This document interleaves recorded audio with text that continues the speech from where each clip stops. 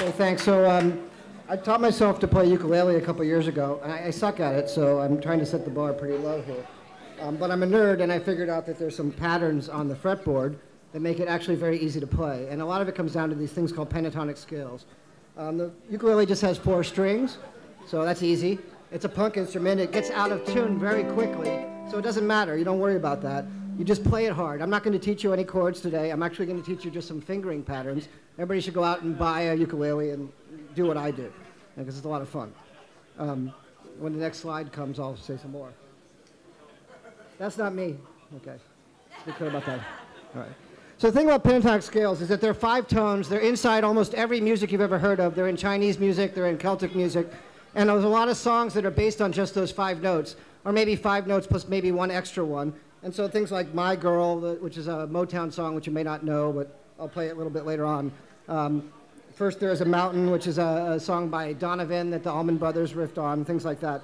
Um, if you ever play guitar and you think of the six strings on the guitar, and one of, the, one of those notes repeats, there's actually five open notes there, and those notes are in an open uh, pentatonic scale. Ukulele has four strings, so it's actually multiple pentatonic scales can be played on the open strings. The nice thing about the open strings is that you can hit them by mistake, and if you're in tune with the song, it doesn't really matter. Um, so when you start learning about things like pentatonic scales, they tell you, well, there's a C note, and that's this one, and there's a D, and that's this one, and there's an E, and that's this one, and there's a G, and that's this one, and there's an A, and then if you're going to play the minor notes, then it's like things like that. But the point is that I don't really want to teach you music theory or how the scales work or what the names of the notes are because that's really, I don't know, that's, that's not fun, it's too confusing. Music theory, I think, is actually designed to teach people not to learn how to play music and keep it in a guild kind of structure. So instead, what I think is that you just learn about what the shapes are like on the fretboard, and then you learn to place them somewhere. And there's these little things that I've sort of discovered. I don't think I invented them, but I think I may have named them, and I call them little dippers. And so before we get into the dippers, I just want to show you what are called cowboy scales. There's an idea on guitar of cowboy chords. Cowboy chords are chords that are played up on the neck right near the open strings and not high up on the neck like an advanced player. And you can play these scales just by running through open strings like this.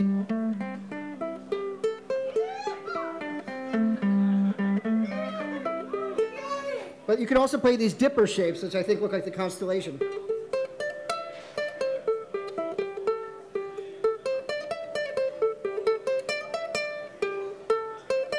Make it up as you go along.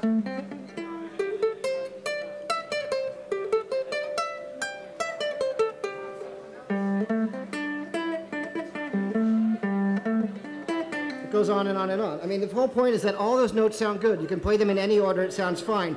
If you want to be a blues player, you add this one extra little note that goes like this.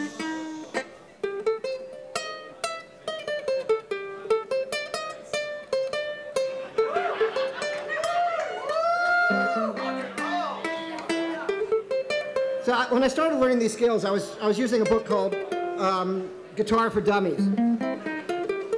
And what I found was that you could play along with like the radio station.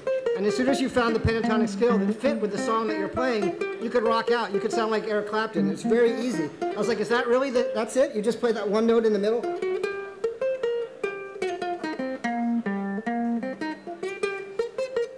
See all the mistakes I'm making? It doesn't matter.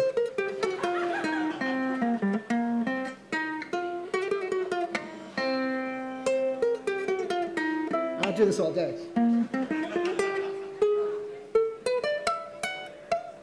Ah.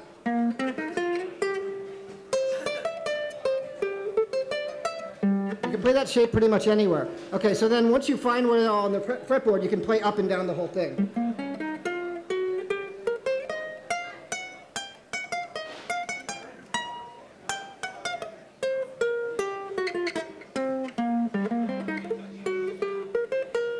This one little thing. I just know where the dipper is, and I'm just finding it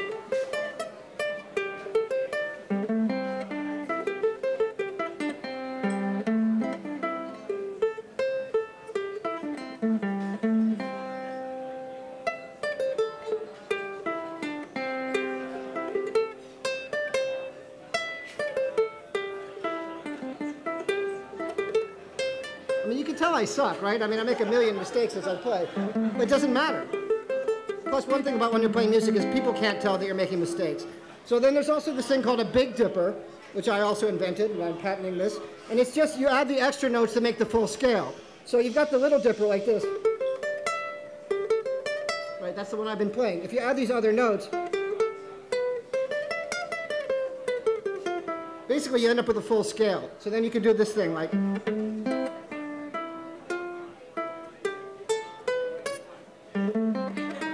That's not really it, is it? Well, that's about it. But watch the slides later.